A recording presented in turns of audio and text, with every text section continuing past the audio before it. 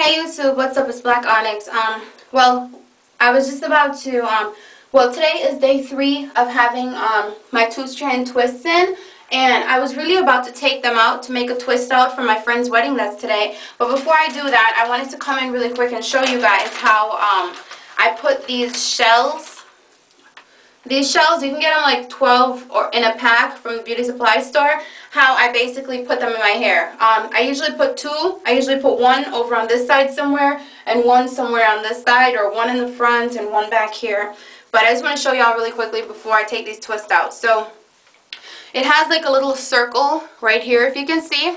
Um, what I do is I take a regular, whoa, come on.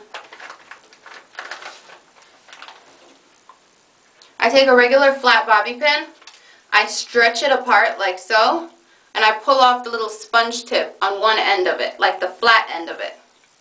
Okay?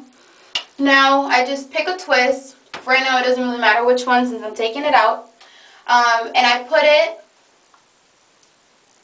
I put it where the wider end is open. And I basically put my twist on top of it. Then I take the pointy end of the bobby pin and I just hook the hair and push it through.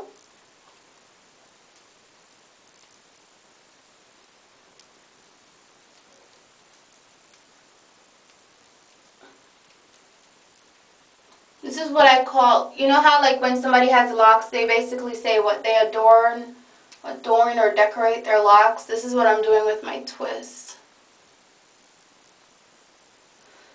Kind of a bad idea right now because since I was about to take my twist out, I put some oil on my twist so they're kind of slippery. Usually doesn't take this long. So you push it through this end. Okay?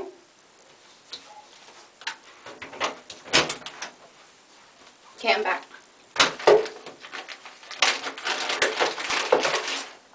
Alright, so as I was saying, you push it through this end so it's right here. And usually I do this better like I said. You just take this hair that you have and fold it upwards okay?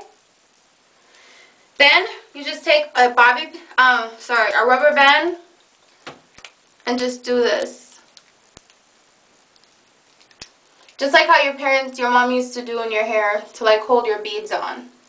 So like that.